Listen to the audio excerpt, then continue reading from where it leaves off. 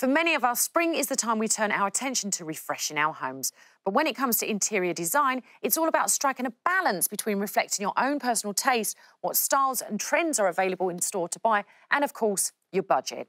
Here to reveal how we can create the dream home you've always wanted without breaking the bank is Ideal Homes Deputy Editor Jane Akers. Welcome to the show, Jane. Thank you very much. You know, I'm going to start with saying I love Ideal Home magazine. Oh, that's fab. I do. Thanks. I read it religiously, and it's my bedtime reading. I literally, I'm in bed at night just before I go to sleep. I have a little flick through, and then I start thinking, oh, I want to change this in my home. I want to change that in my home. Oh, that's so great to know. I'm so glad you're a fan. I love it. So, what should you consider when you're changing rooms in your home? What are the key things? Well, say for example, if you were going to do like a spring refresh or something like that. Which is what I want to do right now. Okay, all right. So one of the things you could do is maybe repaint the room, give it a fresh coat of paint. You know, don't underestimate what a massive change that will make.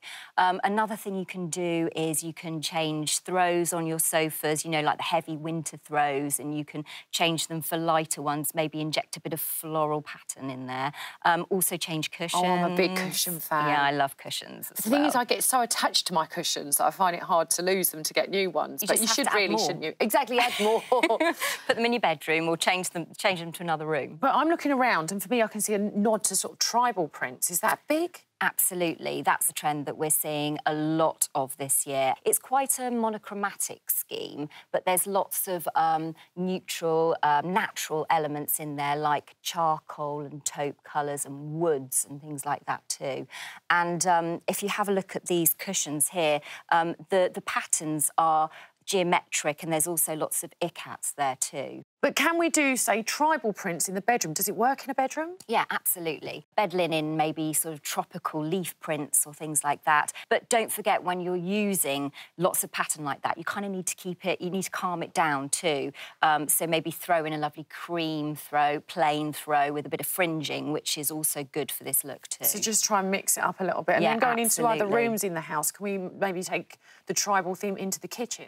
Yeah, absolutely. Part of the tribal theme is being quite rustic and having lots of natural materials, which really work well in a kitchen. Say, for example, you've got lots of wood on the worktops and shelving, and then you want to bring in some lovely crockery with a artisanal feel. The pattern is like the geometric pattern. It's a monochrome scheme, really beautiful. I love that set. It's Really, so really nice. nice, yeah. Right, I'm going to put your expertise to work now, Jane. As you can see, we're already channeling the tribal theme right here in our lounge.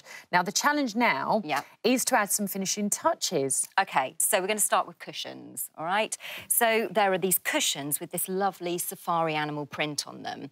And I wouldn't go too crazy with things like this. This is just great for adding a finishing touch. So, for example, if you've got a plain cushion, you can pair that with something like this. Oh, nice. I like go. that effect because it's not too much. Exactly, and it adds a bit of fun. It really brings your sofa to life. And also, you mentioned that having throws on your bed and everything. Can do you like throws on a sofa? Because I do. Oh, absolutely. I mean, as far as I'm concerned, a sofa is totally bare without a throw. So we've got this, for example. This See, is... I love this. Oh See, now God, this is ties in with the cushion. It does. This is so cosy. It is really, really nice. This screams of cuddling up on the sofa Yeah. watching a movie. So what you want to do is you want to throw it over the back, and then in the evening, when you're snuggled up and watching the TV, you just pull it off, and there you go. Right, I've got a coffee table at home, and my coffee table is completely bare. I'd like to, I'd like to put something on there that would tie in with everything you're showing me. What can I use? Absolutely. So you want to go for one key statement piece.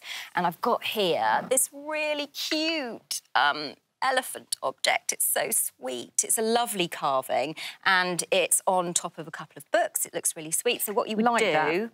is pop it like this in the centre of your coffee table. Perfect, like the way it's all tying in. Right, what about the shelves? Because I've got shelves in my home. Yeah, me too. And you know what? I actually never know what to put on them or how to change them. I love dressing shelves. Okay, so you can help me. Okay. Right. So to inject a bit more of a tribal theme to this shelving unit, I'm going to swap two pieces. I'm going to. you want me to take that? Yeah, take that. I'm going to change that for this lovely wooden vase. So natural materials are really key to this look. I'm Mm-hmm. going to pop that there.